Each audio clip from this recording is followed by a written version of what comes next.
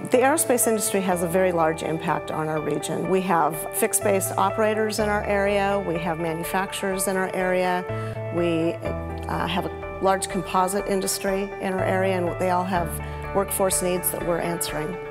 As computers become faster, the products have to be uh, more capable, and we're on the brink of some pretty significant technology now, which I think will assure our market share for a very long time.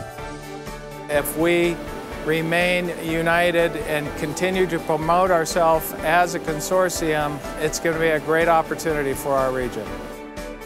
You look at going into the future of where the investments are going to be made, what we're going to need to be do, uh, doing as a world economy, as a regional economy, and I think this is a smart play. And uh, over and over again, I see the aerospace as a fundamental cornerstone to our state economy and one that here in Spokane we're a vital part of.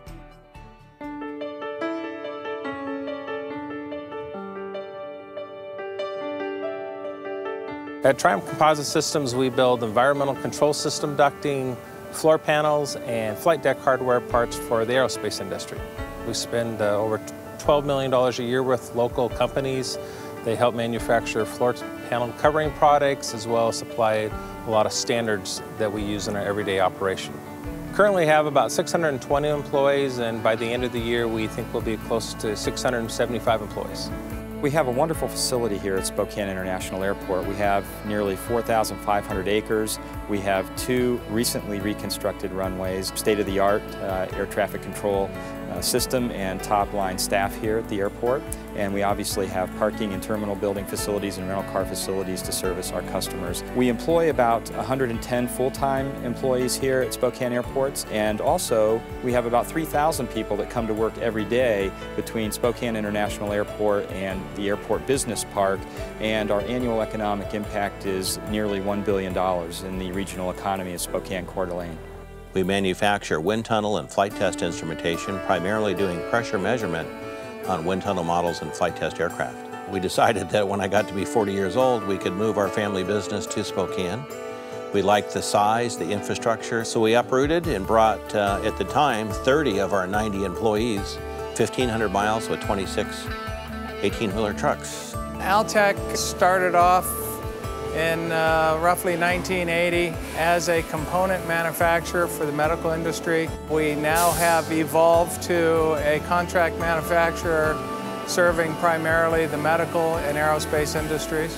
Our client base is made up primarily of half a dozen major customers in the aerospace industry, uh, mainly first-tier suppliers directly to the aerospace OEMs. The success of Scanivalve is feeding the local vendors, be it Novation that does our anodizing, uh, the material suppliers, uh, the shipping companies, the airlines, I mean, it all interacts. With our success, uh, as we grow, our suppliers will grow as well as our employee headcount.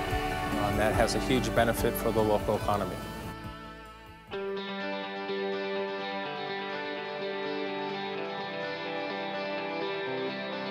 The Inland Northwest Aerospace Technology Center is a training center to answer the demand for workforce education in the aerospace industry in Washington State.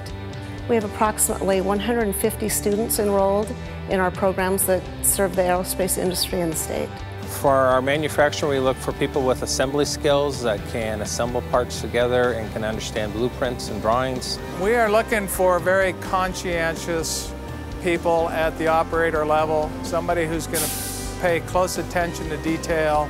The center provides the skill gap by, by meeting with industry and making sure that we are assessing what, what the latest trends are in manufacturing and aerospace manufacturing, what's necessary, and that we're embedding that in the curriculum.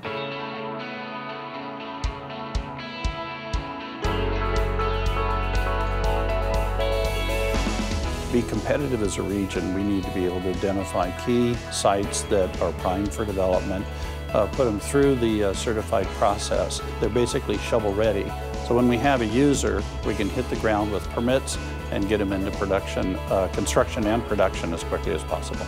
To know what the city has available in, in property is key as we try to um, and work to recruit uh, aerospace, manufacturing, high-tech manufacturing, uh, that's a key piece.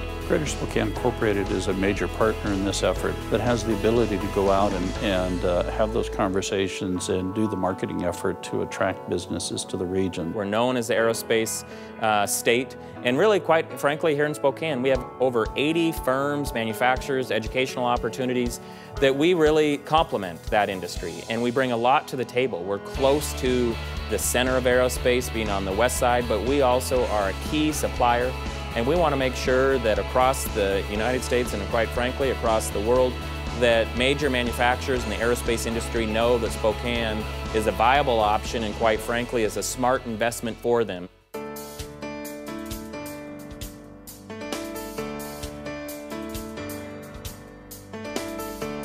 The Inland Northwest Aerospace Consortium is a group of small businesses that are working together to attract new business, new aerospace companies into our region, and the other is to attract aerospace work into our region. When we market ourselves through trade shows, through conferences, we're marketing us as a consortium. We're marketing this region. The I-5 corridor, which has been the primary focus to support the industry, is uh, overwhelmed with work. So they're looking east, they're looking at Spokane, they're looking at the consortium that we currently have in place. The aerospace cluster is already here. We need to continue to fine-tune that cluster, working with our partners at GSI and obviously our partners at Spokane Community College in this recruitment effort so that we can feed that pipeline of available employees in those technical skill areas that these aerospace manufacturers need.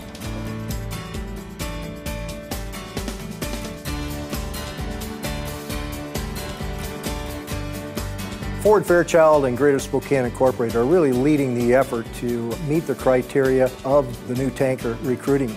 Uh, we make a real uh, effort to represent Fairchild as well as Spokane.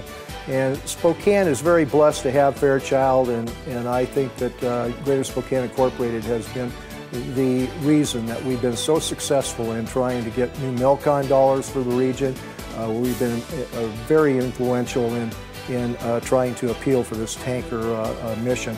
So Greater Spokane Incorporated has led the charge, and that's really an important part of what GSI does.